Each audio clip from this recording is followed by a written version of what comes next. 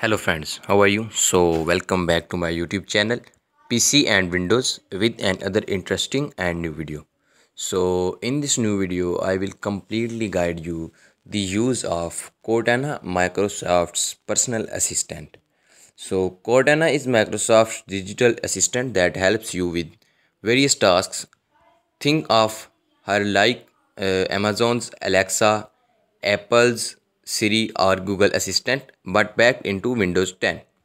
Cortana is a virtual assistant created by Microsoft for Windows 10.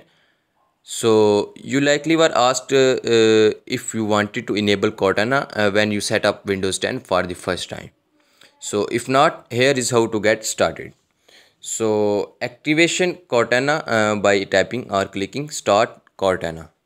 So just search out here Cortana. So they are saying that Cortana is not available in your region. So as I have selected uh, my region according to my country, that's why they are uh, saying me.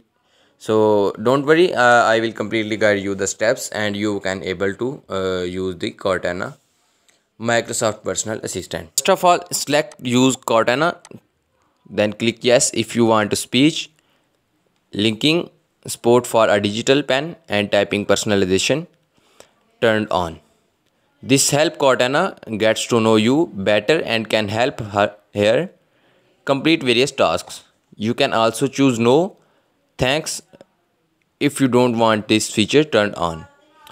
Next, Cortana now sits on your taskbar at the bottom of your screen. You can wake her up by saying, Hey Cortana.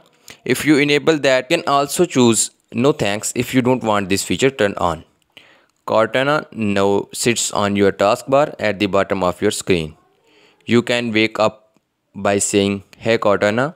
If you enable that or by clicking the Cortana icon on the taskbar which looks like circle and uh, is to the right of this Windows search option.